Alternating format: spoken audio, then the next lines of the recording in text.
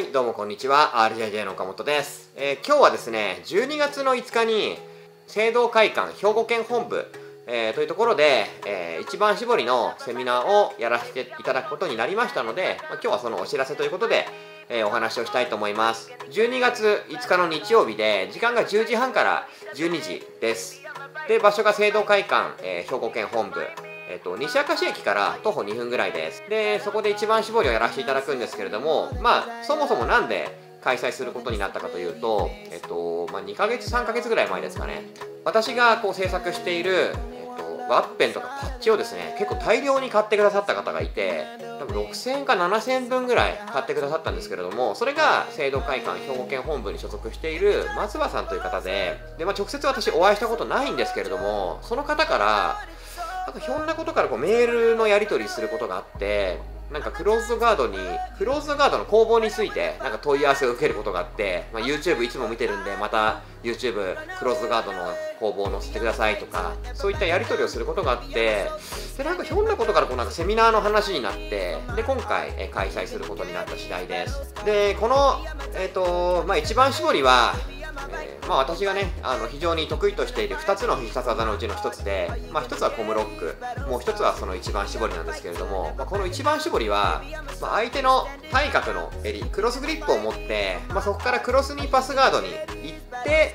まそのクロスにパスガードが決まってからでもいいですしクロスにパスガードを防がれた場合とか、えー、そういった時にもえー、パスガードが決まっていなくてハーフの状態でも一番絞りを、えー、締め技を決めて、えー、勝ちすることが、えー、できるのが最大の特徴です。でこの技はまああのよく言われるのがなんかなかなかやってもうまく決まらないとか言われたりするんですけれども、まあ、私も今まで DVD とかオンラインとかで教則動画は、えー、出してるんですけれどもやっぱりこう締めて相手を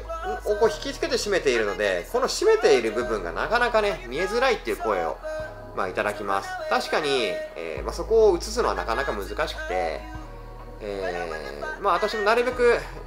分かるように説明はしているつもりなんですけれども、まあ、そこがちょっと難しいのが現状です。なので、まあ、そういった方々に対しては、まあ、セミナーとかで直接手取り足取り、えー、レクチャーをすることで、え、解消をしています。でこの一番絞りはですねまあ、結構有名な選手からも、えー、一本勝ちとかしてます、えっと、数年前のグラウンドインパクトリバイバルではユバーサルジムリディップスの小野津達也選手からも、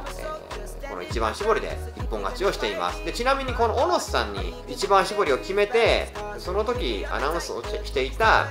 今長崎にいる松本さんがあのアナウンサーなんだっけリングアナウンサーかなんかをしていてなんか39秒岡本選手一番絞りによる一本勝ちですとかなってゴング格闘技にもその結果が載ったりして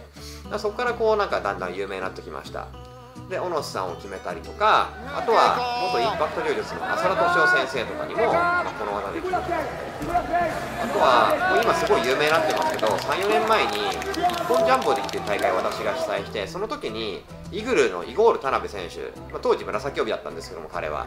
そのイゴール選手とやって、えー、この一番絞りで決めて勝ってます。必殺技を持ってるっていうのはやっぱり結構強いと思います。あのポイントとかでやっぱり負けていたりとか試合が劣勢だとしてもこの一発を決めれば大逆転で勝てるので、えー、あってもね、えー、私は損はないと思います。むしろこの一番絞りあんまりまだやる人がいないので対策もそんなに練られていないですしだから私のこの一番絞りは未だにえー、来るのが分かっていても、えー、決まり続けるんではないかなと思ってます。聖堂会館さんである一番絞りのセミナーなんですけれども、えー、限定18名で、えー、開催します、えー、参加費が6000円です、えー、定員達し次第、えー、終了なんですけれどももうその聖堂会館兵庫県本部さんだけで14人か15人ぐらいもう申し込みが来ているそうなので、まあ、34人ぐらいしかないのでえー、まあ、その兵庫の西明石周辺の方で気になる方はぜひ、えー、お申し込みいただければとても嬉しいです。それでは12月5日、えー、兵庫県西明石でのセミナー、え皆さんとお会いできることを楽しみにしています。どうぞよろしくお願いします。今日は以上です。